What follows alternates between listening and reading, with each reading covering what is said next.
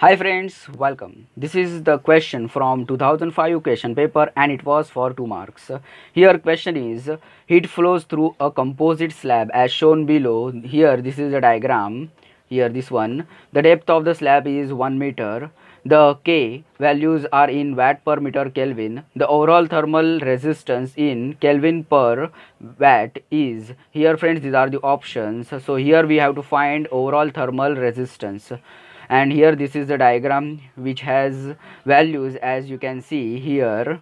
We will first draw here thermal resistance diagram for this particular diagram. So here we have this point. As you can see this is our first point this is second point and here this is the third point. Okay and here for this portion of this slab we have here this thermal resistance. Further these two for these two have we parallel connection like this. Okay. Here this one and here we have this one as you can see. Okay. And here we will give the names for this. Here we have this one as r1 here this is r2 and here this is r3 okay here this is k1 k2 and this is k3 now friends let's first write down the given data here on this page here. So here we have given data. So here we have here k1 k2 and k3 so we'll write down first. K1 is equal to we have as you can see 0 0.02 0 0.02 k2 we have uh, 0 0.1 as you can see in the figure here 0 0.1 further k3 we have here uh, 0 0.14 all these diagram these uh, k1 k2 k3 values are in watt per meter kelvin okay?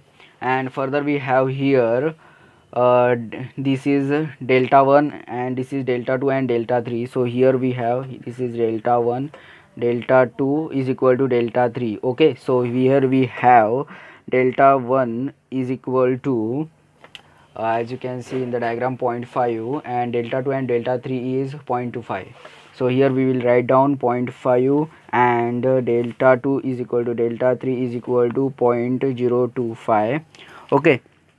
Further here we have as you can see in the question depth is 1 meter. Okay. So here we have depth which is equal to W is equal to 1 meter. Now for this whole diagram we will write down here overall thermal resistance equation.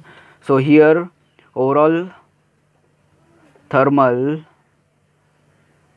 thermal resistance equation here that is total thermal resistance okay so here RT that is total thermal resistance is equal to here we have R1 so r1 plus and the for this parallel connection we have here equation like this. Uh, r2 into r3 upon r2 plus r3 okay? This is our equation and here we will we need to find out r1 r2 and r3 so here first we will find out r1 which is equal to delta 1 upon a1 k1 which is equal to here delta 1 we have 0.5 so here 0.5 upon a1 we have here for this region k1 this region k1 region we have here um, uh, 1 meter length and uh, width we have 1 meter uh, depth sorry uh, width or depth we have 1 meter. So here 1 into 1 into further we have need k1 here. So k1 is uh, 0.02 0.02 so after calculating in the calci we will get here 25 kelvin per watt. Okay next we have here r2 so here delta 2 upon a2 into k2 so here delta 2 we have here 0.25 and for a2 we have here value this side is 0.5 and depth we have here 1 meter. So here 0.5 into 1 into uh, further we have k2 here 0.1 as you can see 0.1 so after solving in the calc we will get here 5 kelvin per watt.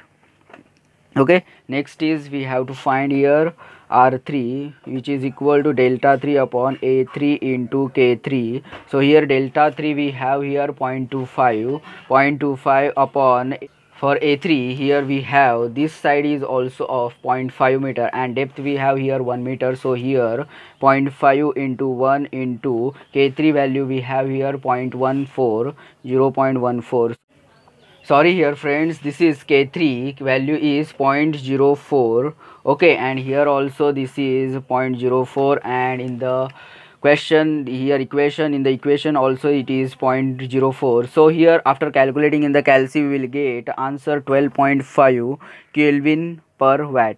So now let's put the values of r1 r2 and r3 in the in this equation so after putting the values in the equation we will get RT is equal to 28.57 Kelvin per watt which is approximately equal to 28.6 Kelvin per watt.